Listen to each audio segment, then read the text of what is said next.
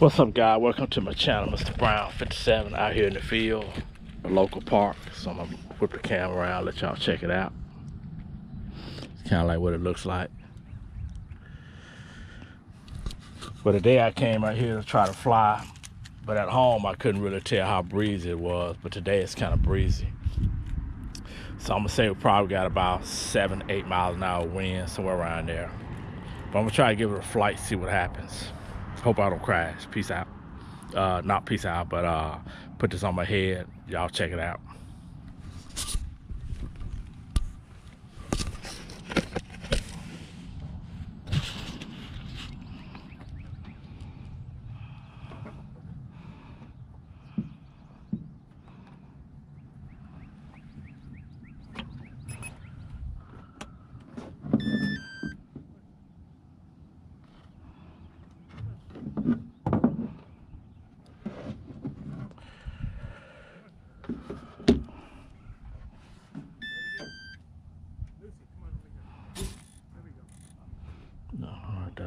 Seems to be like that.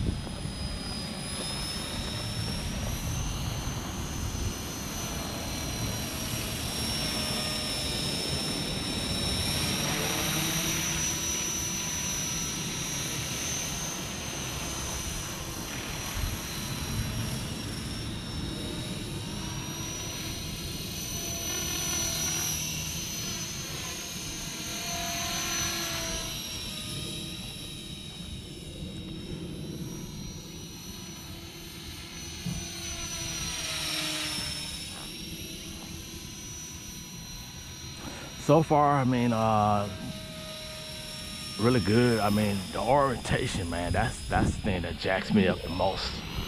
Is like direction of like tail from the head.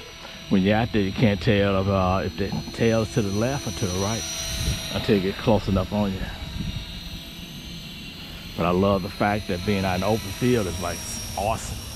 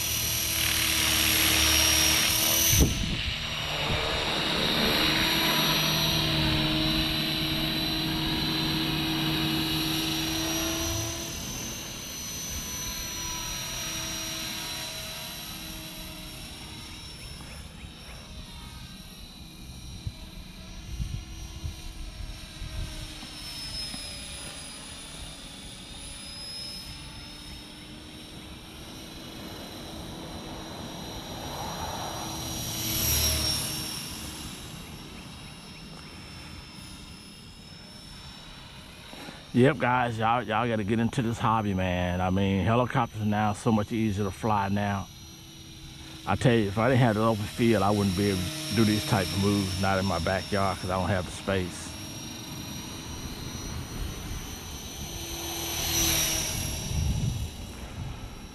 All right, let me, I gotta come in for a battery check, because I don't know my battery energy at right now. Because you definitely want the battery run out, because if it does, it'll drop right out the sky. Unlike a drone, that give you a warning.